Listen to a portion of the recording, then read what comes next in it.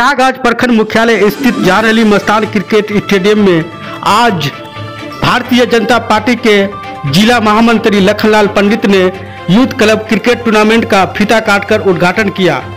इस टूर्नामेंट में प्रखंड सहित जिला के कई टीमों ने भाग लेकर अपना किस्मत को आजमाएँगे। आज का ये शुभ आरंभ हो गया है। अब लगातार टूर्नामेंट सिलसिला चलता रहेगा।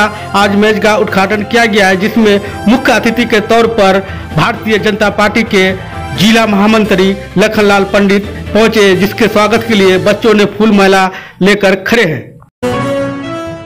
प्रखंड क्षेत्र के निशंद्रा पंचायत के टंगटिंग में एक दिवसीय उर्स मुबारक का आयोजन किया गया, जिसमें काफ़ी संख्या में ग्रामीण और पंचायत के लोग उपस्थित हुए। उर्स मुबारक में उलमाए दिन ने दिन की सही रास्ते पर चलने की नसीहत दी और लोगों को सही दिशा पर चलने की बात कही गई। मौलाना द्वारा इसी क्रम में बहादुरगंज के जिला परिषद प्रतिनिधि इमरान आलम उर्सगाह पहुंचकर तशरीफ़ ले गए। वहाँ पर उस मुबारक को ध्यान पूर्वक सुना।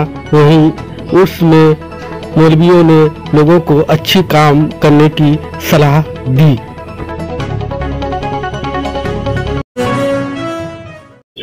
बहादुरगंज प्रखंड क्षेत्र के महेशबतना पंचायत के झिंगाकटा हाट में एक दिवसीय जलसा प्रोग्राम का आयोजन किया गया, जिसमें काफ़ी संख्या में लोग पहुंचकर जलसा का लुत्फ उठाया। वहीं जलसा गाँव में उलमाद्दीन हाफिज, कुरान, मौलवियों ने लोगों को नेक काम करने की सलाह दी।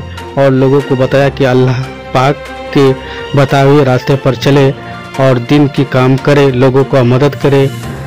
एक दूसरे जलसा में काफ़ी संख्या में लोग, पंचायत के लोग पहुँचे, जहाँ जलसा सुनकर घर वापस हुए।